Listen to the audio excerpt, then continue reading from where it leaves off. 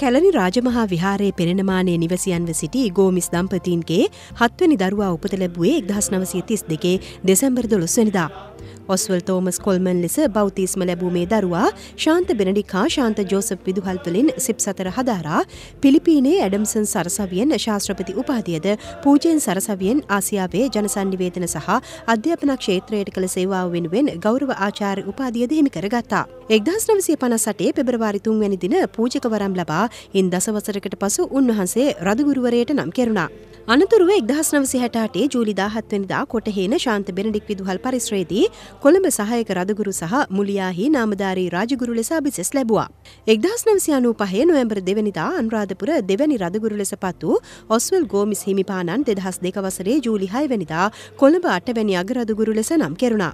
පසුව ජූලි විසිහත්වනිදා නවාගරදුගුරු ලෙස පදවි ප්‍රාප්ති ලබා දෙදහස් නවේ ජුනි දහසේවැනිදා විශ්‍රාම ලැබවා. උන්වහන්සේ එදාමෙන්ම අදත් කඩිසරව විද්වත් ධර්මදර දේශකයෙකු ලේකකයෙකු සහ ඉතිහාසඥයෙකු ලෙස ජාතික හා ජාත්‍යන්තර තලයේ සුවිශේෂී මෙහෙවරක නියලන අතර කොළඹ විශ්වවිද්‍යාලයේ කුලපති ලෙසද සුවිශේෂී කාර්යභාරයක් ඉටු කරමින් සිටිනවා. එවැනි විශිෂ්ට කිතුුණු ආගමික පනිරුවනක් රදගුරු නිලයේ පනස්වසරක් සපරීම ඓතිහාසික කඩයිමක් වනවා. එනිමිත්තෙන් ඉදිකරනු ශාන්තානා වැඩහිටි නිවස විවෘත කිරීමද අද සිදු කෙරුණා. එයා ග්‍රාමාත්‍ය රනිල් වික්‍රමසිංහ මැතිතුමාගේ ප්‍රධානත්වයෙන්.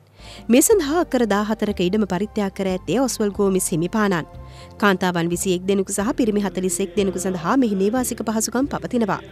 අග්‍රාමාත්‍යතුමා මෙහිදී සඳහන් කළේ ඔස්වල් ගෝමිස් හිමිපාණන් ජාතියාගම් කුලබේද නොසලකා සියලු ජන කොටස් එකට එක්ව ජීවත්වීමේ වැදගත්කම පසක් කළ උතුම් හිමිපාණන් වහන්සේ නමක බවයි.